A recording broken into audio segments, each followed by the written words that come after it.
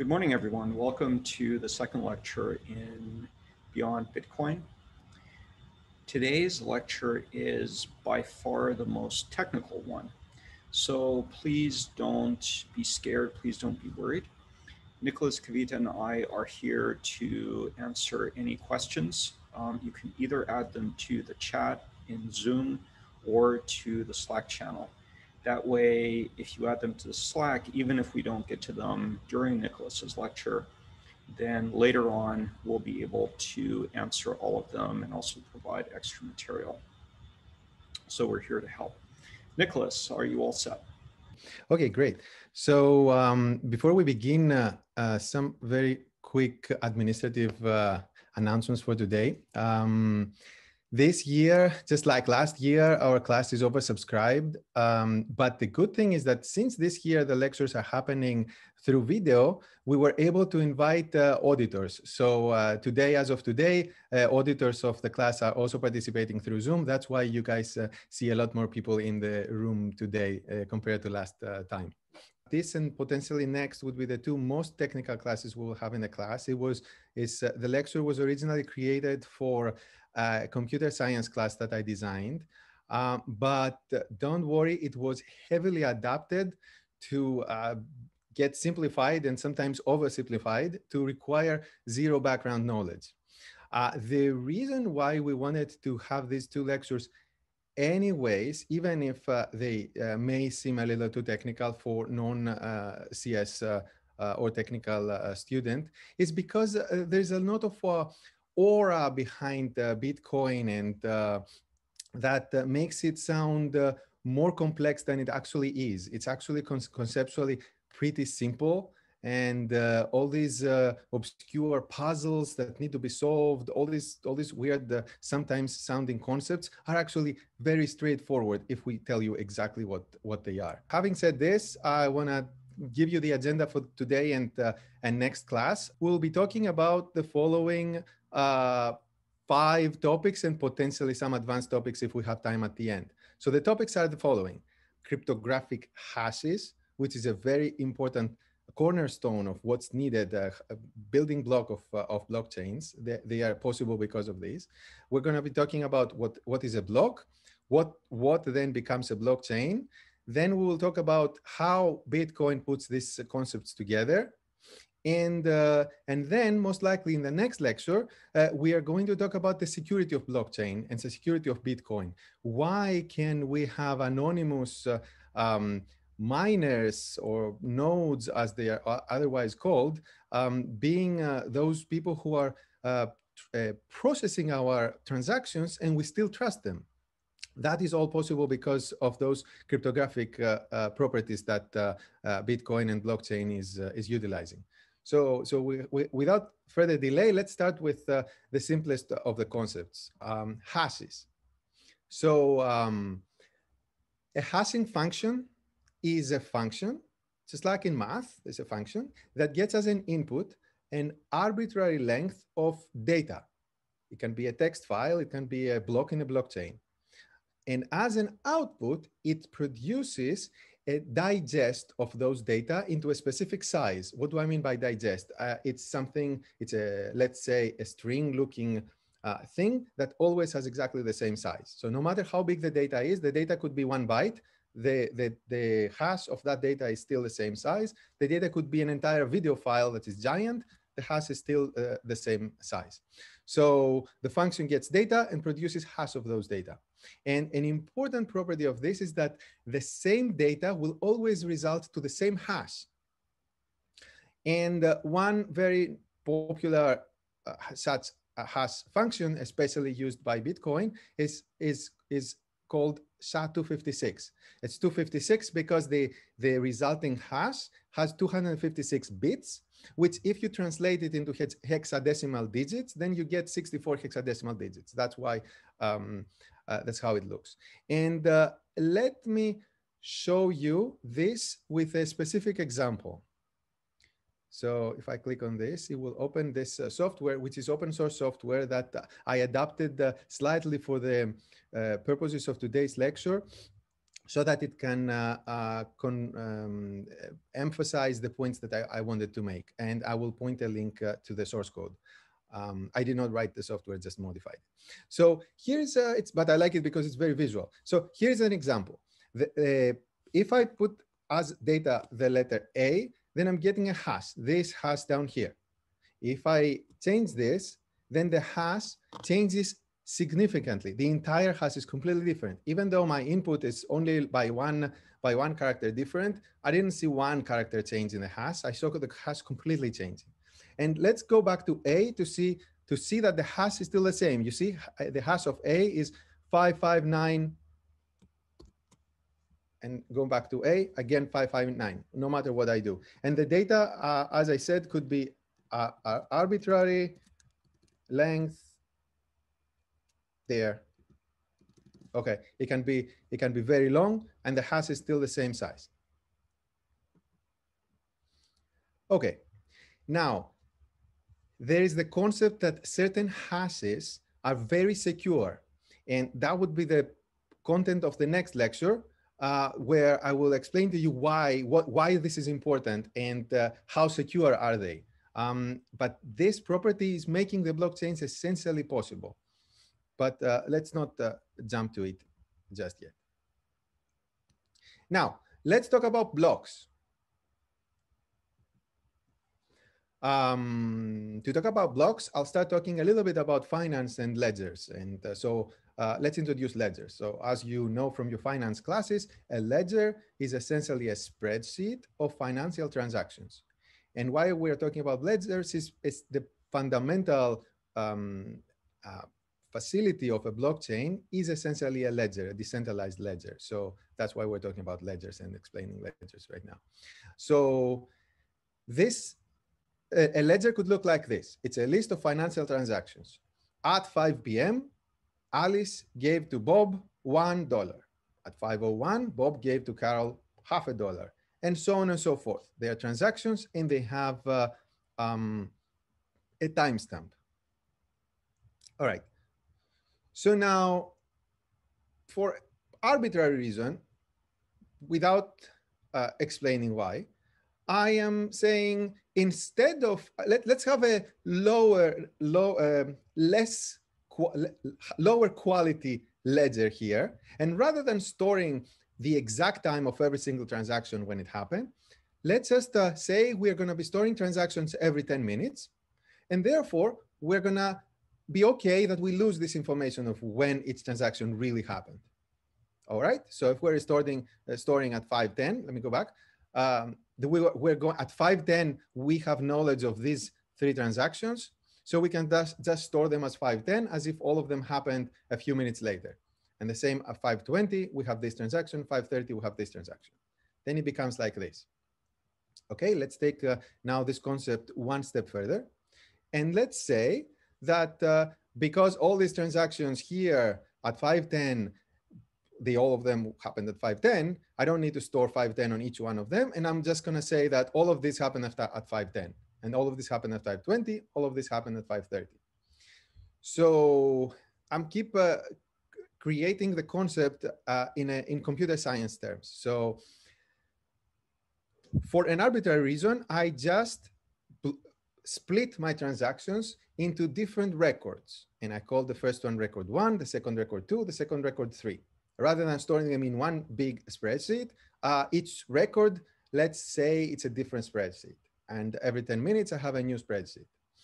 Uh, now, because I want to keep track of uh, what is what is the order of the spreadsheets, um, I can store this information that tells me that gives me a link, like a URL of the if it's a Google spreadsheet, it gives me the URL of the previous spreadsheet. So I store the URL of the previous spreadsheet, and that's how if I'm on this spreadsheet, that's how I can I can uh, uh, I can find all the previous spreadsheets by following these uh, pointers. And obviously there will be a, a, Genesis record that will have no previous uh, um, uh, record to it. It will be the first one. Okay, so now let's try to abstract the concept a little further. And let's call all of this stuff uh, let's just call it data because I'm trying to, to produce, to show you what the block is. And to simplify, I will just call all of that uh, stuff data. And then a blockchain block, what it really is, it's more things, but what it really is, is that data that I was talking about. It's something we call a nonce and the hash of the concatenation of the data with the nonce. These three things. Now, what is a nonce? Nonce is uh, just uh, an arbitrary integer number that uh, I can change however I want. And it doesn't really change my whatever transactions are stored in this, uh, in this block because the transactions are in data and nonce is completely independent. But it's very important because the reason I have it is that when I change the nonce, even though the data are the staying the same, the transactions that we had uh, between people stay the same, the nonce changed, therefore the hash of this block changed. So now Bitcoin or Satoshi came up with this uh, arbitrary definition that says that a valid block is a block for which the hash starts with many zeros. And we'll look at that uh, in a minute in the example. But, um, but hashes usually don't start with many zeros. Hashes are, as I showed you earlier, they look very random. So it's very hard to produce a hash that has starts with many zeros because it's unlikely that a hash is so um, so repetitive. Um, so and then mining is the process of changing nonces constantly until you find a nonce that makes that new block that you're trying to mine valid. So let's look at this concept right here.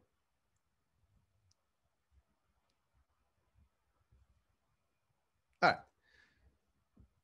Same software, a uh, little uh, advanced version of what we see. Um, this is what I call the block maybe it has a number. So that's the first block. It's the Genesis block. So uh, it's number one. Then uh, this is the nonce. And here I have my data. My data could be that Alice sends to Bob uh, three Bitcoin. Okay. So, and the hash is data concatenated with nonce, and in this case, concatenated with a block number uh, as well. And this is the hash. Now, is this a valid block? No, because it doesn't start with many zeros. So what do I do? I go here and change my nonce. Zero. Mm, no. One. Mm, doesn't start with many zeros. Two. Uh, no. Three. Uh, nope. Okay, so what this software here does is it has a button that uh, calls a JavaScript function on this page that uh, uh, is going to run all the numbers from zero until it finds a number that makes this hash to have many zeros. Let's, let's press it and see what happens. All right, the background changed to green and your hash here is starting with four zeros. Four is arbitrary. In this specific case, we just said that we, uh, we, can, we define a valid block to have at least four zeros because if you had more than four, it would take forever to uh, compute it. And for demonstration purposes, we choose, we chose four.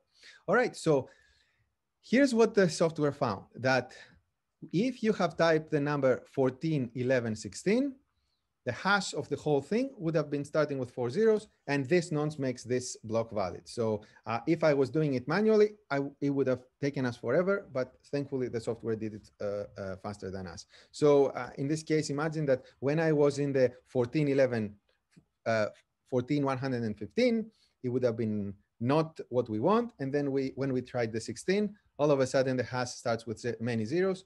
And then we are very uh, happy we mined the block. This is a valid block.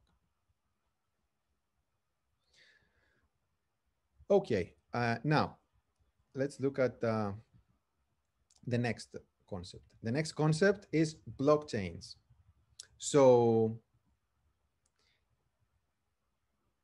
I want to add um, the, the concept of uh, every block contains all the nonce and everything else that I said. But what I'm talking about in this specific slide is that it contains a pointer. It's not anymore a URL that I told you one spreadsheet is pointing to the URL of another spreadsheet, but it is um, the hash of the previous block. So this value right here is, is the exact same value as the value right here. So this way you chain the blocks together. So let's look at that as well. Um, okay, so here's how the blockchain uh, um, would look. Um, we, are, we keep in, improving our block so that it can have all these concepts that I'm talking about. Uh, the first block, the Genesis block, uh, has no previous uh, hash, so let's just put it all to zeros. And it has data such as A gives to B, three Bitcoin.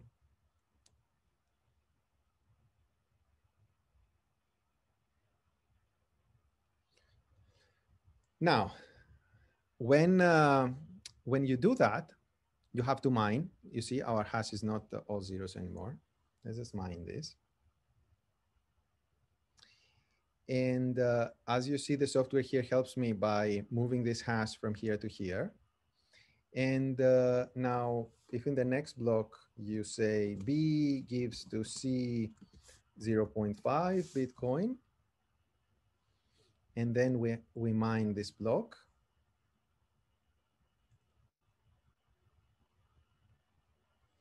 We will end up with a valid block that has multiple zeros here. And um, if we continue doing that and say C gives to A 0.2, we'll mine this block as well. Uh, now I want to give you a, the, first interesting property of the blockchain and why it makes things uh, uh pretty secure uh, and uh, what we call immutable. Um, what would happen if actually B comes back and says, oh, you know what? You didn't give me back then three Bitcoin, you gave me four. If I change this to four, anything I change in this block is going to destroy this hash. And then it's going to destroy this hash and it's going to destroy this hash. So, so it's extremely easy to detect even a single chain, a single change in the entire chain of the blocks. So when you, so the only thing you need to look uh, when, if you want to know if a blockchain is uh, is valid, uh, you just need to look at the latest block because that latest block contains a hash of the previous, of the previous, of the previous. A quick question about what, what you, maybe you're about to do this, uh-huh. uh, but uh, the example you gave where you changed the data. Now, presumably, if you mined that new data in that example, mm-hmm. you could come up with a hash that would have start with the zeros, but then that hash would not be uh, would be different than than the one the pointer in the next block, uh, which kind of breaks your chain and is detectable presumably, and that's that's how you prevent um, that's how you that's how you uh, retain the integrity of the chain. Now, is it uh, is it the case that uh, it's po- it, theoretically it would be possible to create the same hash with the new data and a different nonce? So is the is the uh, issue that it's so it's so computationally difficult to do that that it it's it, it can't happen basically? It is possible that you can have collisions. This is the next class, uh, but it is highly unlikely. It, it will take, uh, it, we, uh, let me put it uh, um, like simply. No one has ever found a collision on uh, SHA-256. And if you have, if you find one, not a specific transaction, A to B sends three and change it to something else, but any collision, we know they exist theoretically, but no one has ever found even a single um, uh, collision like that. This is called a collision. So if you find one, you will be uh, very famous and uh, uh you, things will need to change in the world because we will need to find uh, to improve our uh, cryptographic functions that we use. Thank you. Mm -hmm. Okay, next let's look at Bitcoin a little more in, in detail. So uh, how many zeros do we require uh, the blocks to have? Well, the more zeros, obviously, the more difficult for computers is to find uh, the right uh, nonce to produce that, um, um, that, that kind of hash. And what Bitcoin does in its code, it basically adjusts dynamically this uh, difficulty um, so that one block is produced every about 10 minutes. So uh, what it does is that um, every two weeks, the Bitcoin uh, algorithm uh, uh between producing the next block is running a computation, which essentially looks at how many blocks have been, uh, uh, how much time has passed for, for producing the last 2016 blocks. And 2016 times 10 minutes is about two weeks. And if it finds that the amount of time that it took for these 2016 blocks to be produced is less than two weeks, it means that the difficulty was not difficult enough and it increases the difficulty. And if it finds that uh, the, the, it was more than two weeks, it means that, uh, that we, didn't, we didn't have enough hashing power in the, um, in the on, on, the in the world, uh, and it needs to reduce the difficulty. So the difficulty is essentially this number d here that you have to divide the the, the hash so that you can say that uh, a hash must be lower than the maximum hash divided by this difficulty. What I'm, what I'm really trying to say here is that um, if a number, if a hash starts with a lot of zeros, then that hash is smaller than, uh, in this case, uh, let's say um, uh, one here and everything else uh, uh, zeros. So that's what uh, it means. Is that, do you, is that, um, is there a question here about what difficulty means? It essentially tells you how many zeros are required. and that's why it is defined as 2 to the power of 256 because there's 256 digits in a in a hash, bits in a hash. So 2 to the power of 256 is the maximum hash you can have. And if you divide that by difficulty, then you basically keep adding zeros uh, uh, here in the beginning. And uh, I, for, for reference, uh, today the difficulty is uh, roughly 20 uh, times 10 to the power of uh, 12, which means it's, it's the number 20 trillion. And uh, the, the resulting block, including the nonce, especially the nonce and the hash of the block, is what people call proof of work, because this proves this very hard work that the whole world did to eventually one of them randomly find such a nonce. And once you have the nonce, then you can very easily uh, check that the nonce uh, indeed um, satisfies this condition. So let's look at one more con con concept here. Uh, the concept of Coinbase. What is Coinbase? Well, we all know it's a popular uh, crypto exchange uh, in the US. Uh, no, no, nope. Uh, actually Coinbase is a very specific uh, field that exists inside every Bitcoin block. And that's why that's where other concepts got their name from.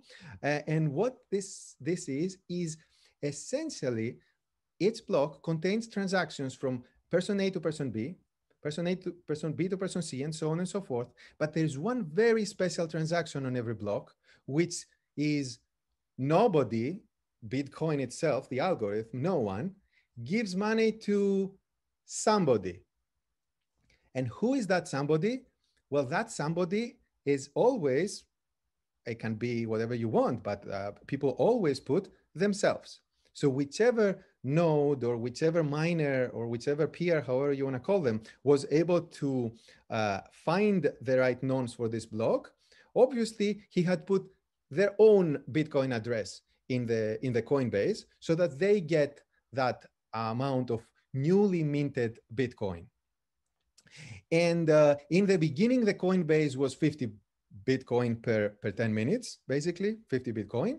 And it halves every 210,000 blocks, which is roughly every, every four years. So um, it, it has halved three times so far. And currently the Coinbase is 6.25 Bitcoin. Here, I have um, the concept of uh, multiple um, nodes. They're called uh, nodes, peers, or miners. Uh, all these are, uh, words are um, describing the same thing. So there's the Alice, the Bob, and the Charlie. Uh, each one of them uh, has the Coinbase.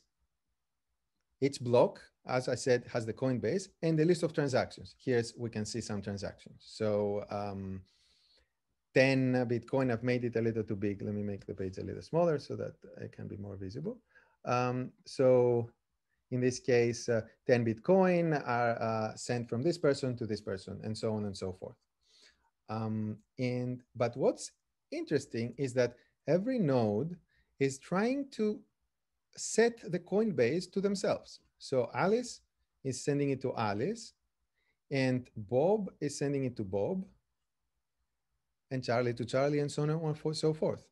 So what happens is that when all of them are mining at the same time, they all press this mine button at the same time to mine block one. But uh, let's say Alice found the right nonce for her block first. If you see, if uh, Bob tries to find this, the nonce will be different for Bob.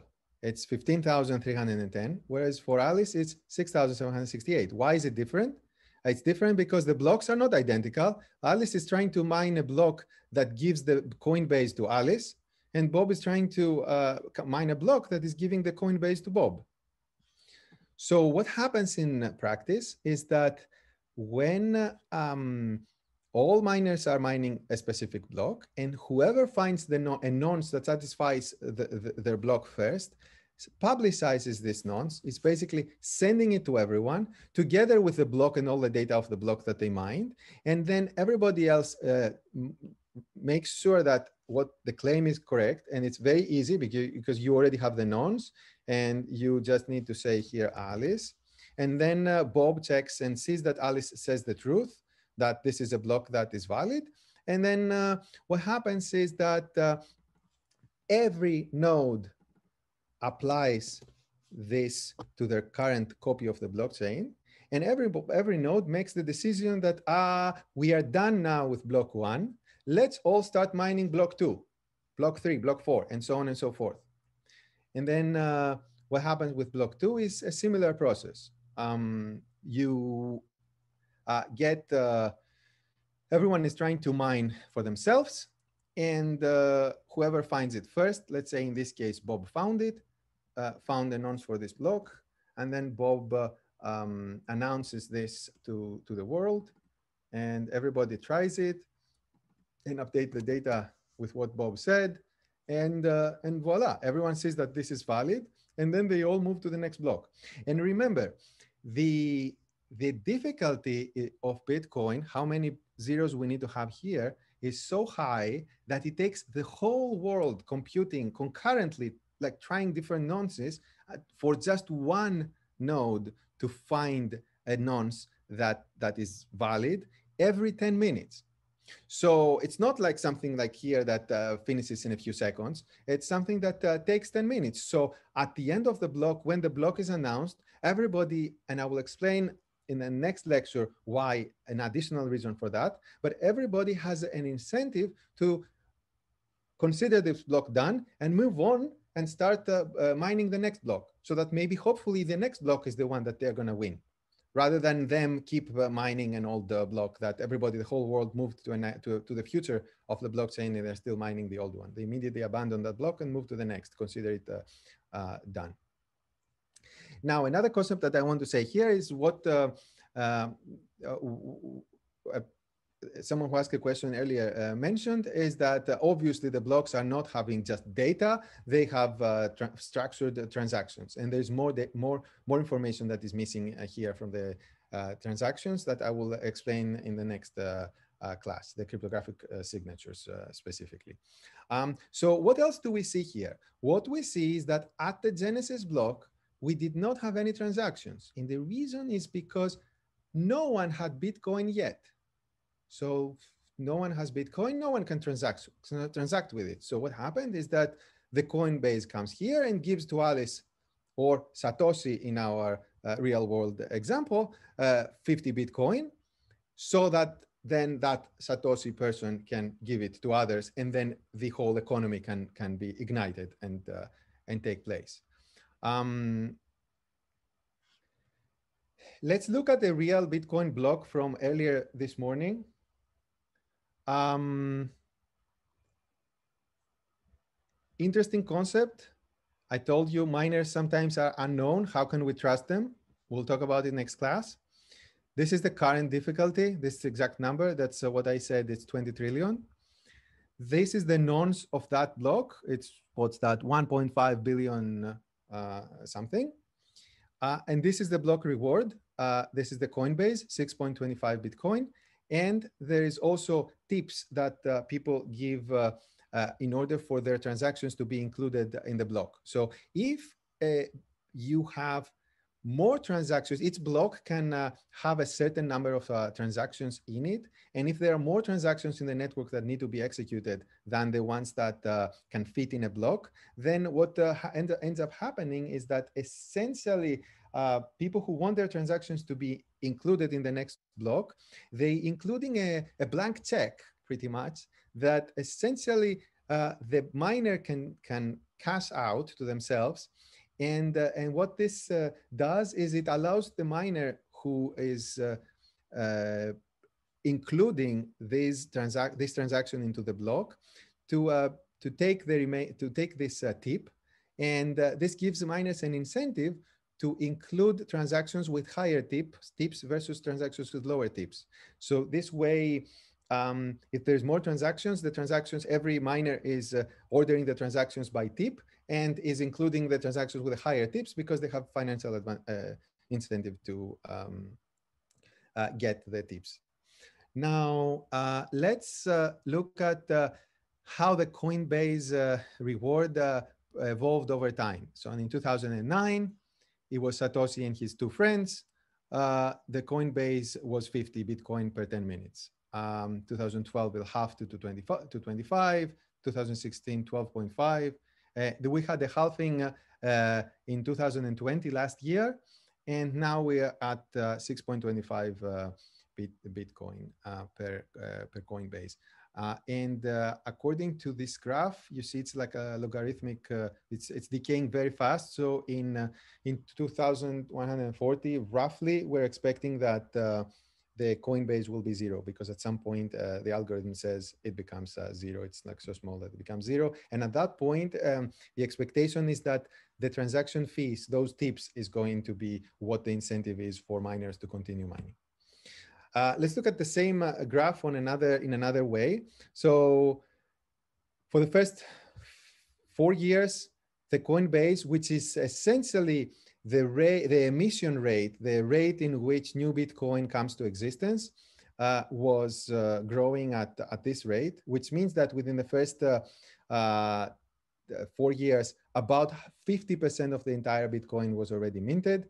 And then an additional 25% was minted here, an additional 12.5% was minted here, and so on and so forth that's why we say that it's a, Bitcoin is a deflationary currency, which uh, which means that there is a um, a maximum amount of it, and it's kind of like uh, gold uh, or real estate. The the the area of the Earth is is set; it doesn't increase over time, and uh, therefore it is bound to uh, be deflating, meaning that it increases in value over over time. Whereas uh, fiat currencies, most, uh, most of them, or not all of them, are inflationary, which means that every year more of it gets uh, minted. Um, now let's look at the, the hash rate. So what is the hash rate? Um, so in the beginning, people were mining with uh, um, their computers and uh, uh, they, could, they were able to produce uh, one hash every so so many milliseconds. But uh, these days, uh, the customized hardware is used, uh, which is uh, initially it was uh, some chips called FPGAs, and now very custom chips specifically for computing SHA-256 hashes in order to increase the efficiency at which you can hash bitcoins.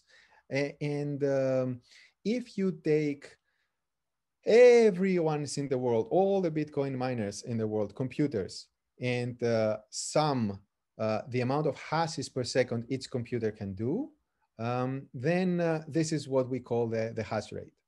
And um, uh, this is these days measured in exahashes per second, but no one knows what exahashes per second is. So the maximum number we're usually accustomed with uh, is uh, terahashes per second. Tera, it's like, uh, um, and that's why this number here is 143 million terahashes per second. So let, us look at the history a little bit. So uh, in 2011, uh, it was zero point, like that's somewhere here. It was 0.1 uh, terahashes per second. Then it went to 10, 20, 10,000, 300,000, 800,000, 2 million, 15 million, 42 million, 105 million last year, January.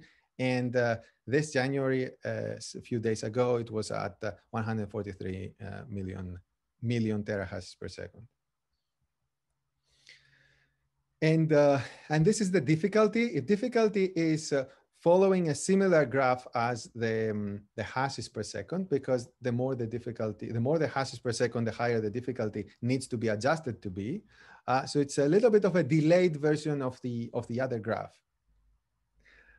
Okay, so I think that uh, I will stop uh, right here for today. And for the rest of the class, I will take questions uh, so that we can uh, talk about uh, these two important concepts uh, more next week.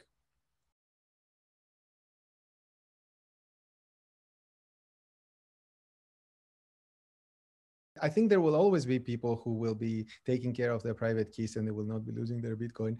But uh, but anyways, I think what you are alluding to is that uh, uh, as long as uh, you keep divide the current keep dividing the currency, then uh, the divisions of it uh, become more and more um, valuable in a way. Mm-hmm. But also another answer is that. Um, uh, maybe not uh, all uh,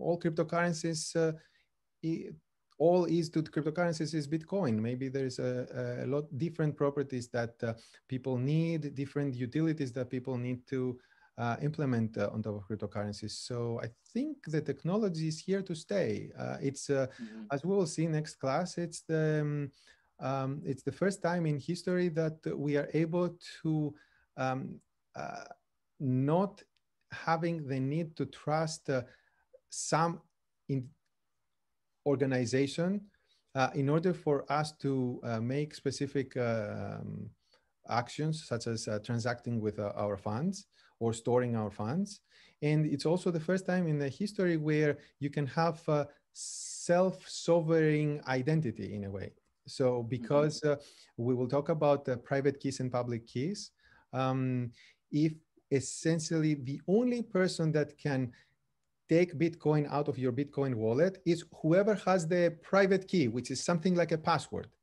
Uh, and, uh, and you uh, can prove that you are who you are just by having the password. So in, in the, in the past, in any other uh, historic event in since the beginning of time, there is a, either I need, I'm living in a village a thousand years ago that uh, and then everybody else in the village know who i am and that's how i can establish that this uh, i can give you this piece of land and then everybody is a witness so your piece of land is yours. Or uh, in the recent years we have to use passports or credit cards or intermediaries. So the intermediary would be the in the passport uh, example would be a, a, country that issues the passport. So then everybody trusts that the country gives uh, one password to one person and the password is legitimate or the bank institution which uh, basically give, gave you the credit card or the debit or the bank account number and then people have to trust. But with uh, with this uh, with this technology it's the first time that uh, that you can have this self-sovereign identity and i think there's a, a lot more innovation that will happen um, because of this property. We have a lot more things to invent uh, because of that uh, simple thing Thanks.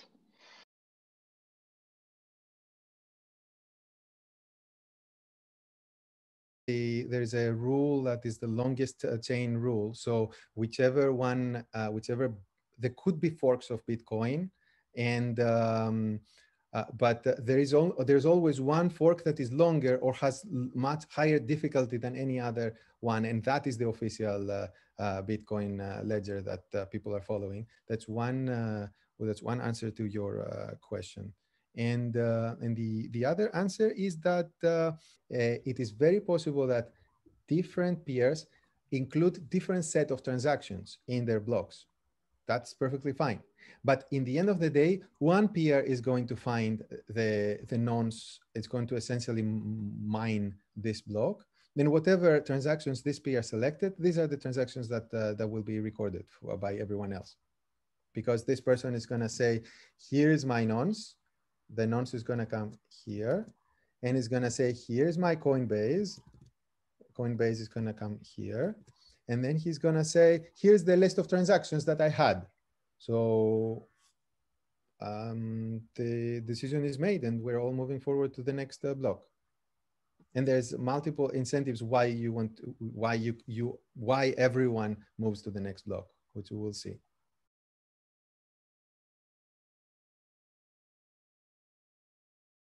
What you're saying is possible. And it's the case where Alice and Charlie find the nonce for their block, basically mine, mine their block at exactly, pretty much exactly the same time. That is possible. And at that moment, they're both of them are going to start broadcasting the block. So what will end up end up happening is just a network delay.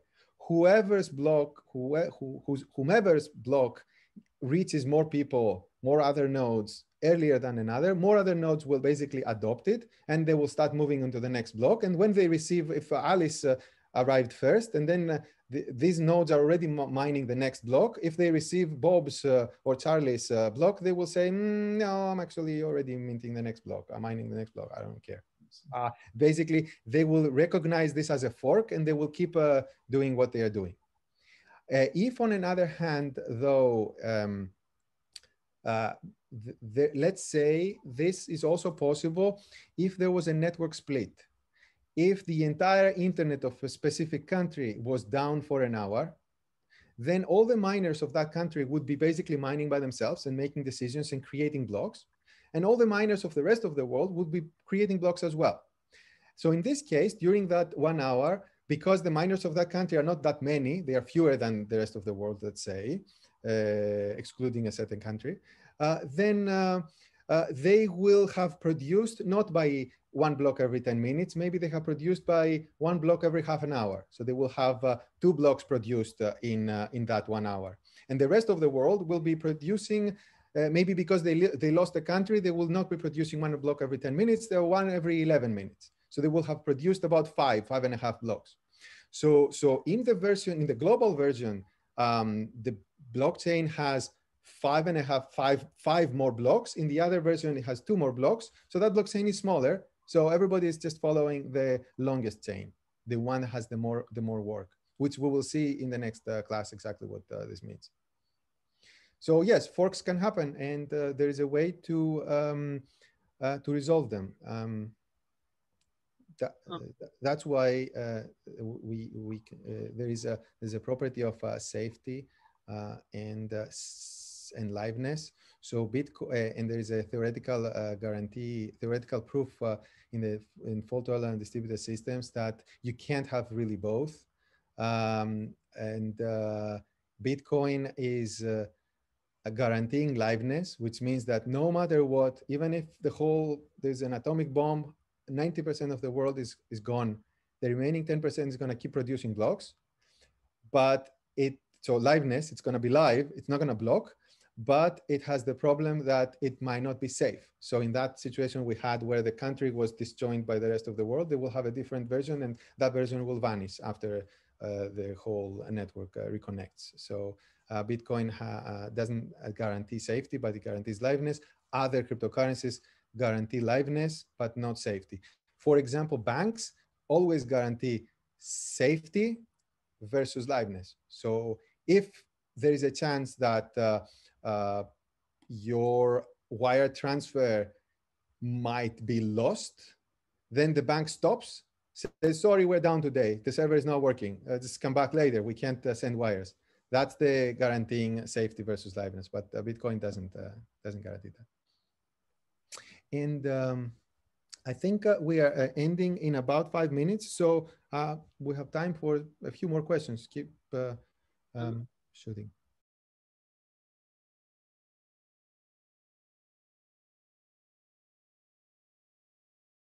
As a miner, what you do is you basically come and put your name here. You're a miner Alice, and you put your name here, and you press the, the mine button, and you keep pressing the mine button for the rest of, uh, of your life. And, uh, and I guarantee you that you will never get a block because uh, it's so unlikely that you get a block. Um, but uh, what people do is they they get a lot of computers together into a mining pool, and that's how. And, and one of the people in the mining pool get the block, and then then they split the they split the Coinbase uh, uh, together. But um, but this aside, um, that is one way. That's how people. That's what people uh, do. They, they are they're putting their name in the Coinbase. They click mine, and they hope that they will get the Coinbase. Um, now, the second way that they get Bitcoin is by because some of these transactions contain tips. And uh, so they both, whoever mined the block, found the right nonce, is going to get the, point, the Coinbase and the tips. Um, and uh, that's the second way they do. Now, what happens is that uh, that Bitcoin goes into the account of uh, whomever, Alice in, the, in this case.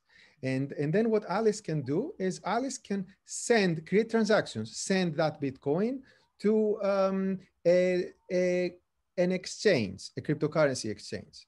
So if you look at um, the, uh, the, the way, how many Bitcoin belongs to what address out there to what wallet, you will see that the, the largest ho holders of uh, Bitcoin and most cryptocurrencies are cryptocurrency exchanges. So, so what happens is that Alice here would open the, her mobile app. They will, she will go to Coinbase. She will say, I want to transfer my Bitcoin from, uh, from the blockchain to, to, my, to my app. And then the app will say, oh, okay, great. Please send it to this address. And then Alice is going to go to her favorite uh, wallet, which is going to produce basically a transaction like this. And uh, she will say, okay, I want to send uh, this many Bitcoin that I have to the, to the cryptocurrency exchanges wallet address that they specifically gave me and, and make the transaction.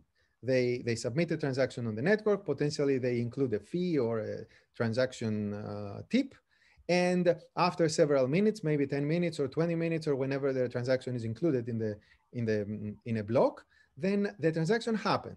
So when it happened, then they go back to the mobile app that has the or the website that uh, of their favorite cryptocurrency favorite cryptocurrency exchange, and uh, and then after a while, there is some software that is running on the on the exchange that is validating that this uh, transaction actually arrived, and then it uh, increases the balance of the Bitcoin for that person on the balance of the crypto exchange. Now, when most exchanges, unless they are decentralized exchanges, which is a different kind of uh, uh, thing, but most most major uh, popular, well-known exchanges, they are not uh, decentralized at all, meaning that uh, they are the same concept as any bank. So you trust them with your funds. So you don't have any private keys. You don't have any of these things that we'll talk about, any of the guarantees that we talk we'll talk about next uh, class. So you just trust them with their funds. Their funds, uh, uh, your funds, your Bitcoin corresponds to a database record in the transaction, and then you can uh, uh, order transactions in the same way you would order transactions in a in a stock exchange. It's like just normal, plain old uh, um, server stuff. Uh, it's nothing nothing to do with uh, with crypto.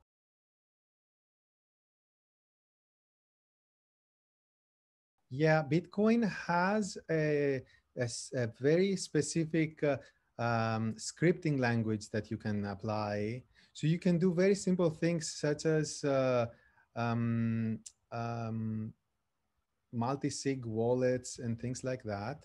Um, but uh, what the um, breakthrough of, let's say, the innovation of uh, Ethereum was, is that uh, Ethereum's programming language is uh, completely generic. So you can uh, do almost every program that you can imagine. You can't do input output stuff, but you can do any program that you can imagine. having said this, the whole Ethereum computer is comparable to an extremely slow computer from the 70s. And the reason it's not like uh, the reason why this is uh, the case is by choice, uh, because it, the, that computation is being replicated across every single node. So you don't want the you don't want it to be running machine learning algorithms. You want it to basically make sure this uh, smart contract, when you send it funds, it responds this. Like you can create an escrow smart contract, or you can create your Uniswap, or what you want to uh, create on it. But uh, you can create um, a complex uh, algorithm. Thank you. That's very helpful. Okay, cool. Well, uh, thank you, everyone. We'll be on Slack, and uh, we I'll see you again uh, next uh, class.